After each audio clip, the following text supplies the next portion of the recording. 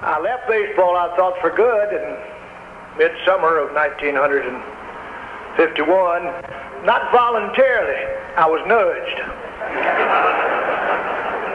they changed the rule after Judge Landis was the commissioner. They changed the rule to require 75% of the votes in order to get a new contract.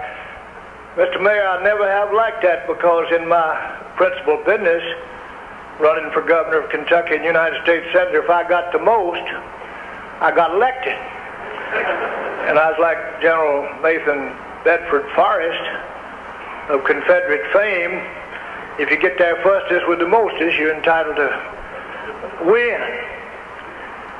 My grandfather, of course, was a second sergeant in Morgan's cavalry. He was shot at Shiloh in the heel. I suggested, I said, Grandpa, you must have been running. He said, son, everybody was running.